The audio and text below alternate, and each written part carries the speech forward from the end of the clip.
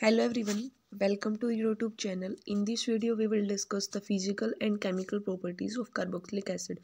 Last video में हमने preparation कर ली थी कार्बोक्सिलिक एसिड की एंड स्टार्टिंग में हमने एसिडिटी भी देख ली थी एसिडिक नेचर हम देखने वाले हैं फ़िज़िकल प्रॉपर्टीज़ देखो फ़र्स्ट कोई भी फ़िज़िकल स्टेट देखते हो आपको देखकर तो फ़र्स्ट स्टेट आती है उसकी फ़िज़िकल स्टेट कैसी है ठीक है तो हम इसमें क्या देखते हैं कि जो हमारे लोअर एलिफेटिक एसिड्स होते हैं, जैसे लोअर का मतलब है कि फोर कार्बन तक, जैसे सिंपल कार्बन आपका कार्बोक्सिलिक एसिड है, जैसे फॉर्मिक एसिड है एसिडिक है प्रोपेनोइक है, इनका तो कोई कलर नहीं होता, ये तो कलरलेस होती हैं, और इनका जो स्मेल्स होती हैं वो भी इरिटेटिंग टाइप की होती हैं, लेकिन जो एसिड है सी फोर सी नाइन ये भी कलरलेस ऑयली लिक्विड होती हैं, और कुछ अनप्लीजेंट स्मेल्स आती हैं हाइयर मेंबर जाओगी, अगर बढ़ते जाएँगे कार्बन जिसमें दस, ग्यारह, बारह ऐसे कार्बोक्सिलिक एसिड तो कलरलेस या फैक्सी सॉलिड होती हैं, उनकी कोई स्मेल ही नहीं आती, ठीक है? तो जो एरोमेटिक एसिड होते हैं, वो भी एग्जिस्ट करते हैं, उनका कोई कलर ही नहीं होता वैसे।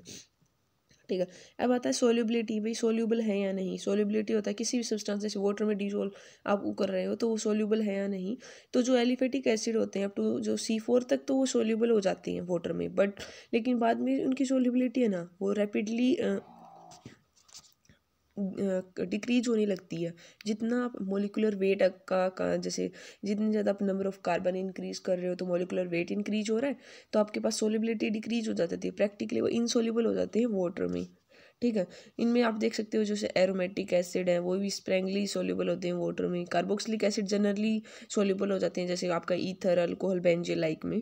ठीक है? तो हम बोल सकते हैं कि जो वाटर की सोल्यूबिलिटी है ना लोअर हमारे एलिफेटिक एसिड्स हैं, उनके साथ तो हो जाती है। क्यों हो जाती है? क्योंकि वहाँ पर तो ना हाइड्रोजन बॉन्ड की फॉर्मेशन हो जाती है। वाटर और जो लोअर एलिफेटिक एसिड्स हैं एक्वा सोल्यूशन बट जब हाइयर एसिड्स होते हैं तो वहाँ पर जो नॉन पोलर अल्काइल ग्रुप होते हैं, वो लार्ज हो जाता है।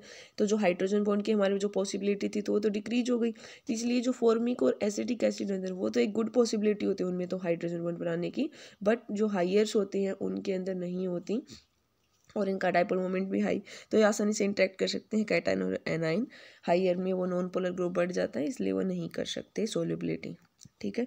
नेक्स्ट टर्म आती है आपके पास बॉइलिंग पॉइंट देखिए बॉइलिंग पॉइंट में हमारा क्या दे रखा है? देखो carboxylic acid form intermolecular hydrogen bond means ये इंट देखो टू टाइप की हाइड्रोजन बॉन्डिंग होती है. एक होता है इंट्रा मोलिकुलर एक होता है इंटर देखो इंट्रा मोलिकुलर होती है विद इन दी मोलिकुल एक ही मोलिक्यूल के अंदर हाइड्रोजन बॉन्डिंग होती है, जैसे हम ऑर्थो नाइट्रोफिनोल में करते हैं. और एक होती है आपका इंटर मोलिकुलर हाइड्रोजन बॉन्डिंग वो होती है टू के बीच में. तो हम क्या देखते हैं कि जो कार्बोक्सिलिक एसिड है, वो आपके पास ender molecular hydrogen bonding show करता है। ये हमने देखा, ये एसोसिएटेड मोलिक्यूल डाइमर की फॉर्मेशन में रहता है। ठीक है? तो कार्बोक्सिलिक एसिड वैसे हाइयर होते हैं इनका जो बॉइलिंग पॉइंट होता है देन सिंपल एंड आप ये देख सकते हो कि जो ओच बॉन्ड है कार्बोक्सिलिक एसिड में, वो ज़्यादा पोलराइज होता है। हमने देखा था रेजोनेटिक स्ट्रक्चर में पॉजिटिव नेगेटिव का सेपरेशन क्योंकि यहाँ पे एक, देखो ओच का क्यों होगा कि यहाँ पे क्या लगा हुआ है? इलेक्ट्रॉन अट्रैक्टिंग कार्बोनियल ग्रुप लगा हुआ है। ओच की साइड देखो कार्बोनिल ग्रुप है उसका अटैक तो स्ट्रोंगर हाइड्रोजन बॉन्ड भी बनाता है। और जो नेगेटिवली पोलराइज ऑक्सीजन एटम है, वो भी हाइड्रोजन बॉन्ड बना सकता है विद पॉजिटिव जो भी हाइड्रोजन है, उसके साथ। तो मेजोरिटी होती है ना कार्बोक्सिलिक एसिड की, वो डाइमर में ही एग्जिस्ट करती है हील टुगेदर दो हाइड्रोजन बॉन्ड बना सकते हैं तो हमारे पास ये इंटर मोलिकुलर हाइड्रोजन बॉन्ड की फॉर्मेशन करते हैं तो आप बॉइलिंग पॉइंट इसका बता सकते हो, इसलिए इनका हाई होता है। नेक्स्ट आता है मेल्टिंग पॉइंट देखो मेल्टिंग पॉइंट क्या जिस पॉइंट पे वो मेल्ट हो जाती हैं, सॉलिड और लिक्विड की कोफेज एग्जिस्ट करती है, उसको मेल्टिंग पॉइंट बोलते हैं। अब मेल्टिंग पॉइंट, ये इनका कोई रेगुलर पैटर्न नहीं होता मेल्टिंग पॉइंट का, ये बोल दिया कि भाई हाँ सीरीज़ में है, जितने ज़्यादा नंबर तो इंक्रीज हो गया, डिक्रीज, रेगुलरिटी नहीं है इनमें। तो इनमें क्या होता है कि up to ten carbon atom तक तो जो मेल्टिंग पॉइंट है ना, even number of carbon atom वालों का, वो हाइयर होता है कंपेयर टू उनके odd number of carbon odd का मतलब जैसे इवन टू वाले हो गए फोर सिक्स एट टेन ऐसे। तो even number of carbon atom वाले को हाइयर होता है देन उससे देन दोज होता है जो भी इमीडिएटली लोअर हैं या उससे हमारे पास वो odd number of carbon atom वाले हैं। इसमें एक इफ़ेक्ट आता है अल्टरनेशन इफ़ेक्ट अल्टरनेशन इफ़ेक्ट क्या होता है? यही होता है कि जो even number of carbon atom वाले कार्बोक्सिलिक एसिड है ना जैसे two, four, six, ten, eight, ten तक, उनका तो boiling point melting point increase हो जाता है। बट जो ओड नंबर वाले हैं, उनका डिक्रीज हो जाता है। इसको हम अल्टरनेशन इफ़ेक्ट या ओसिलेशन इफ़ेक्ट बोलते हैं। और सिंपल चेन में भी देख सकते हो, जैसे एक मेल्टिंग पॉइंट आप ब्यूटेरिक एसिड का देख रहे हो, वो ज़्यादा मिलेगा प्रोपेनोइक से। ठीक है? बिकॉज़ क्यों हो जाता है कि even number of carbon atom होते हैं ना कार्बोक्सिल में उनके जो मिथाइल ग्रुप होंगे ना टर्मिनल में, वो एक वैसे हमें पता है जिग जैग चेन में एग्जिस्ट कर, जितने ज़्यादा तो वो आसानी से इवन वाले फिट हो सकते हैं क्लोजली टुगेदर एक क्रिस्टल स्ट्रक्चर बना लेंगे, लेकिन ओड नंबर वाले कार्बन आइटम लोगे ना तो वो हमारे same side zig zag chain में, वो फिट नहीं हो पाते क्रिस्टल स्ट्रक्चर में ईजिली ठीक है? तो इनका मतलब है, जो एनर्जी की ज़रूरत पड़ेगी हमें ब्रेक करने के लिए क्रिस्टल स्ट्रक्चर को तो इसलिए हमारे पास कौन सी भी ज़्यादा ज़रूरत पड़ेगी इवन वाले में, वो आसानी से फिट हो चुके हैं, एकदम परफेक्ट तो हमें ब्रेक करना है एनर्जी तो ज़्यादा लगानी पड़ेगी तो इसका मेल्टिंग पॉइंट हाई हो जाता है। तो even number of carbon atom क्या हो जाते हैं? फिट हो जाते हैं, बढ़िया तरीके से क्रिस्टल स्ट्रक्चर में तो उनका मेल्टिंग पॉइंट बढ़ जाता है ओड वाले फिट नहीं हो पाते। तो जैसे आप ये देख सकते हो जिग चेक चेन में। तो ये हो गया आपके पास मेल्टिंग पॉइंट का ऑर्डर और वैसे इसमें देख सकते हो मेल्टिंग पॉइंट एरोमेटिक एसिड का जनरली हाई होता है एलिफेटिक वाले से ठीक है? क्योंकि वहाँ पे क्या हो जाता है कि बेंजीन रिंग प्लेनर हो जाती है एरोमेटिक एसिड आसानी से फिट कर सकते हैं मोर क्लोजली क्रिस्टल स्ट्रक्चर या जिग जैक्चर में। इसलिए जो एरोमेटिक वालों का भी हाइयर होता है एलिफेटिक से, ठीक है? ये आप इनकी वैल्यूज़ दे रखे मेल्टिंग बॉइलिंग पॉइंट की देख सकते हो।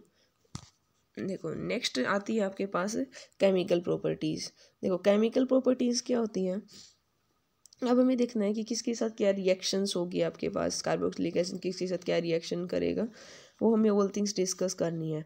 वैसे हमने देख लिया था कि ये ओट्स इन टाइप से कर सकता है, क्योंकि एसिडिक नेचर भी एक्सप्लेन करता है।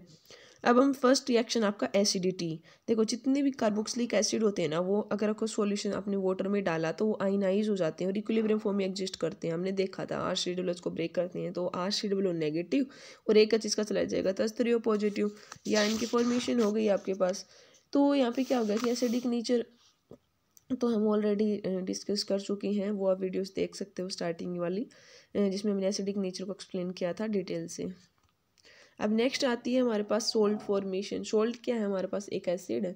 उसमें अपने जैसे सोडियम सोडियम लगा लो पोटेशियम जिंक इनके साथ ये साल्ट बना लेता है और एच टू गैस को रिमूव लिबरेट कर देता है। जैसे कार्बोक्सिलिक एसिड में सोडियम डाला आपने तो ये साल्ट बन गया आर शेड्यूल वन एच टू बाहर निकल गया। तो ऐसे सोल्ट की फॉर्मेशन हो गई। ठीक है? अगर इसी साल्ट में अगर आप एच डाल देते तो इनिशियल बार तो कार्बोक्सिलिक एसिड बन जाता। ठीक है? तो ये आप देख सकते हो। फिर आता है reaction involving replacement of hydroxyl group वो रिएक्शंस करनी है, जिसमें ओज ग्रुप है ना आर सी डब्ल्यू एच वाला ओज ग्रुप की रिप्लेसमेंट हो रही हो। ठीक है? तो जैसे फ़र्स्ट स्टार्टिंग में है फॉर्मेशन ऑफ़ एस्टर कई बार आ भी जाती है कि देखो टू एक एस्ट्रिफिकेशन रिएक्शन क्या होती है, जिसमें एस्टर की फॉर्मेशन करनी है। एस्टर कैसे कर, बनता है आपका? कार्बो एसिड लो अल्कोहल लो मिक्स करोगे दोनों को एस्टर बन जाएगा। अब यहाँ पे देखो कार्बोक्सिलिक एसिड था, उसमें हमने अल्कोहल डाला। तो कार्बोक्सिलिक एसिड से यहाँ पे ओ का ब्रेकअप हो गया, और यहाँ से आर तो यहाँ यहाँ से आर ओ और ये ओ एच और एच मिलकर तो वाटर बना लिया। और यहाँ पे क्या हो गया? आर ओ कंबाइन हो गया तो एस्टर की फॉर्मेशन होगी। ठीक है? तो हमें एस्टर की फॉर्मेशन करनी है। वॉच ग्रुप। और इसमें क्या होता है कि ये इक्विलिब्रियम में एग्जिस्ट करते हैं। जो फॉरवर्ड रिएक्शन जब हम लार्ज एक्सेस में ले लेंगे तो अल्कोहल को, वो आप देख सकते हो कैसे रिएक्शन हो रही है। और ये जनरली अचीव की जाती है। एक एक डिवाइस होता है डीन स्टार्क सेपरेटर उसमें ये रिएक्शन की जाती है, ठीक है? अगर जब रिएक्शन कार्बोक्सिलिक एसिड की अल्कोहल की एस्टर बनाने के लिए हो रही है, लेकिन वहाँ पर अगर आप सी की प्रजेंस ले लो तो उस रिएक्शन का नाम हो जाता है फिशर स्पायर एस्ट्रिफिकेशन कई बार आपसे पूछ ले कोई कि फिशर स्पायर एस्ट्रिफिकेशन और सिंपल एस्ट्रिफिकेशन में क्या डिफरेंस है। दोनों में एस्टर की फॉर्मेशन कर रहे हो बट फिशर्स पायर एस्ट्रिफिकेशन में हम एचसीएल और यूज़ कर लेते हैं। ठीक है? अब आती हैं एसिडिटी तो आप एक्सप्लेन कर सकते हो, जैसे सबसे ज़्यादा एसिडिक होने का प्राइमरी वाला सेकेंडरी देन टर्सरी क्योंकि जितनी ज़्यादा टर्सरी तक देखो अल्काइल ग्रुप बढ़ते जाएँगे स्टेरिक इंटरनेस तो डिफ़िकल्ट हो जाएगा ना एस्ट्रिफिकेशन टाइप रिएक्शन करना। तो रिएक्टिविटी हमारे पास डिक्रीज हो जाती है। तो इसलिए सबसे ज़्यादा रिएक्टिव प्राइमरी देन सेकेंडरी फिर टर्सरी ठीक है? अब आता है नेक्स्ट अगर हमें करनी है प्रिपरेशन मतलब फॉर्मेशन करनी है आपको एसिड क्लोराइड की। तो इसमें भी कुछ नहीं करना आपको। एसिड लिया टू टाइप का हो सकता है, या तो आपका पेंटाक्लोराइड या ट्राई अगर बी सी एल फाइव ले रहे हो तो एसिड क्लोराइड तो बन जाएगा। तो पी सी एल फाइव वाले में तो आपको ये देखना पड़ता है P O C L three बनता है। और पी सी एल थ्री में S three P O three ये तो सिंपल रिएक्शन है, ये हम ट्वेल्थ कर के आ चुके हैं, हमारे कार्बोक्सिलिक एसिड सारे आ चुके हैं। ये सिंपल मैकेनिज्म्स भी कर सकते हो। अगर थाइनोल क्लोराइड क्या होता है एसो सी एल तो इसके साथ करवाना चाहो, तब भी आपके पास क्लोराइड की फॉर्मेशन हो जाएगी एसओ टू गैस रिमूव हो जाएगी। अमाइड की फॉर्मेशन अगर आप करना चाहो तो अमाइड में क्या हो जाएगा? सिंपल एसिड लो अमोनिया डालो तो पहले तो सोल्ट की फॉर्मेशन हो जाएगी, फिर उसको फिर हीट करोगे तो अमाइड बन जाएगा तो ये कर सकते हो। और एनाइड्राइड की फॉर्मेशन करनी है, तब भी एसिड लो क्लोराइड में पिरेडिन डालो तो सिंपल एनहाइड्राइड की फॉर्मेशन हो जाएगी। मैकेनिज्म्स में इनके बिल्कुल आसान है, ये आप देख सकते हो। देखो, हमारे पास टाइम कम था, इसलिए हमने पीडीएफ का यूज़ किया है, क्योंकि कुछ स्टूडेंट्स सेकेंड ईयर की कमेंट किया था कि एग्ज़ाम्स आने वाले हैं तो उनका ऑर्गेनिक का सिलेबस जल्दी से कवर हो जाए। तो मैं ट्राई करूँगी जितने जल्दी हो सके